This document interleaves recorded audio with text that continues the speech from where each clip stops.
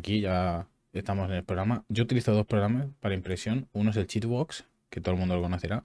El problema de Cheatbox es que no es muy compatible con la Photon. Yo he tenido fallos con la Photon.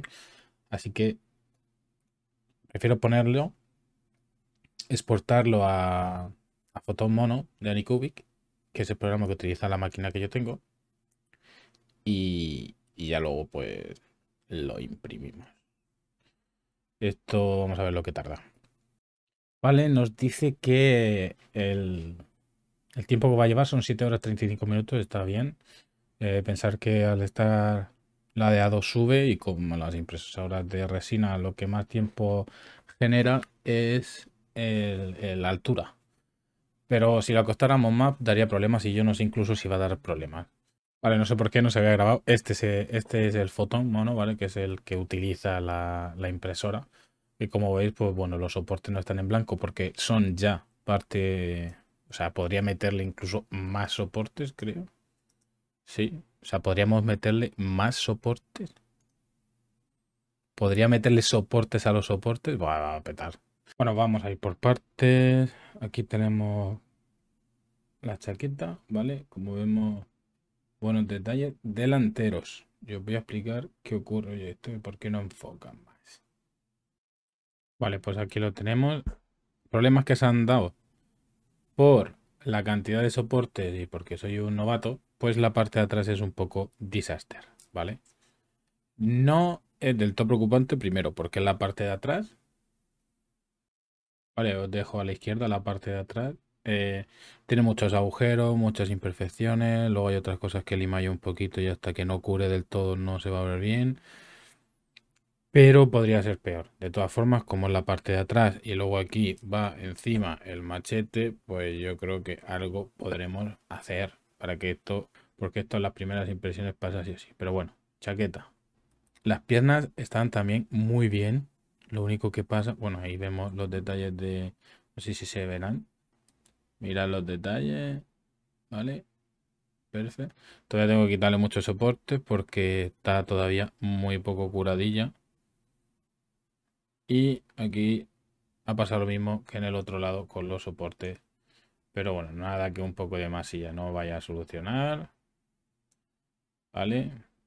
Y eso es que se lo ha llevado los soportes y bueno, otras complicaciones de un novato con una máquina que ha querido sacar cosas muy bestias. Pero bueno, todo solucionable y ya veréis como el resultado final, esto ni os acordáis. Con la cabeza sí que estoy un poco decepcionado. Bueno, yo os la enseño. ¿vale? Con la cara. Voy a ver si le puedo meter para que lo veáis más de cerquita los detalles. ¿Vale? Como veis, las líneas de la cara habría que remarcárselas porque no se ven bien. Eh, y esto es 0,2, pero por alguna razón unos detalles se ven muy bestia y esto en la cabeza no. Así que hice, pues repetí la cabeza. Aproveché que la cabeza también había salido, había un hueco en la parte de las, de las pantalones y metí otra. Aquí se ve... No, mientras esta fue la primera y la anterior. Aquí ni siquiera se ve lo de las mejillas. Pero bueno, yo creo que podremos arreglarlo. Y luego ya pues las manos que han salido muy muy bien. Las manos siempre parece que salen bien. Está todo genial. Se tienen que, que curar, pero bueno, han ido genial, ¿vale? Esto Hemos impreso de cero. Y ahora vamos a dejarlas curando.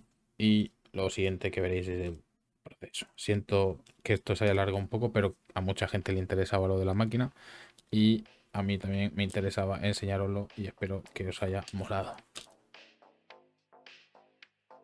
Bueno, pues después de la impresión lo que comenzamos es a pelar, a quitar rastrojos, eh, zonas, a limar, todo lo necesario para que la pieza encaje entre sí. Eso sería lo primero.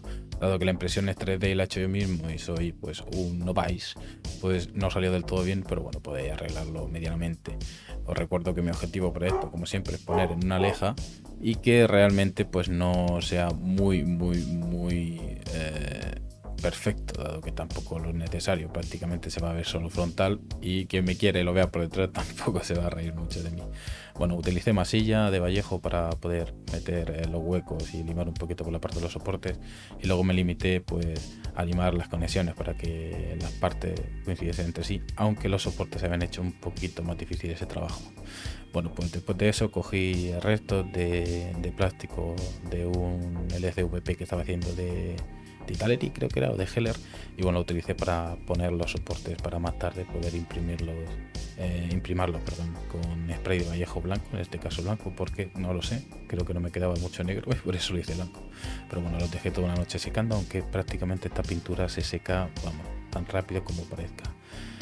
Empecé haciendo las partes que serían más claras, en este caso sería la piel, y bueno pues fui poquito a poquito rellenando con un poco diluida dado que no sé por qué las zonas blancas como que la pintura la coge diferente y eh, necesito diluirlas un poquito en agua.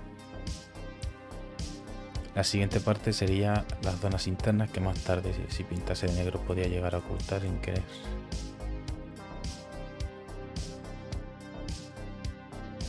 Vale, utilicé un rojo puro de Vallejo mate para meter la parte de adentro de la chaqueta que es roja y luego comencé con el negro. También puse rojo en las cremalleras tal y como aparece en la imagen que veréis aquí, que es la referencia de Jackie Wells de la propia Wikipedia oficial de Cyberpunk 2077. Y bueno, pues me basé en eso, pero también tengo que adelantaros que me tomé algún otro registro en accesorios.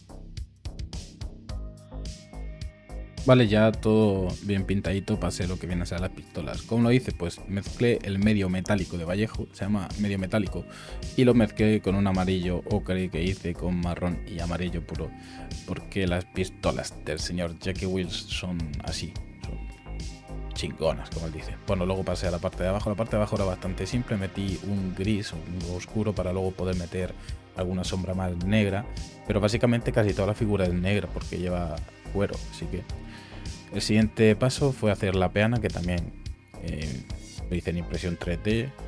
Y bueno, pues tampoco quería que resaltara mucho, puse un fondo así eh, gris claro y luego metería un wash negro y pues la parte de fuera ya sería metálico. Bueno, terminé unos accesorios, en este caso el machete que lleva a la espalda y hice un cartelito con Cinema 4D que luego imprimí en 3D donde ponía Cyberpunk. De esta manera pues podía colocar algo de Cyberpunk por la parte de atrás, dado que la figura no sé por qué no tenía referencia de Cyberpunk. Y bueno, eso se lo colocaría en unos palitos hecho, en un palito hecho para la parte de atrás de la figura. Bueno, pues metí el wash distintos, una, una, sangre seca que tenía unos surcos ahí perfectos para eso, unas pequeñas aplicadoras de rojo y pasaríamos a los toques finales, ¿vale? Sé que no aparece mucho en el vídeo, pero básicamente todos sabemos pintar y es una figura bastante simple de hacer, aunque no lo parezca. También imprimí eh, en blanco un cartelito que ponía Jackie Wiz para poner la parte delantera, ¿vale? Tenía un grosor de, de 0,5 milímetros y bueno, pues lo pegué, ahí lo ves, pone Jackie Wheels, lo pego, queda perfecta la peana y luego le meto unas pequeñas iluminaciones a las letras para que terminen de ser genial. Como digo, tampoco quería que la peana resaltara mucho y ver que lleva unos metálicos a los lados, un papel, unos cigarrillos, un poco de sangre y au, le metí luego unos detalles al papel que había en el suelo. Y ahí tenéis la peana terminada. Así que lo último fue pegar todas las partes y os enseño el resultado final. Ya me si os gusta o no.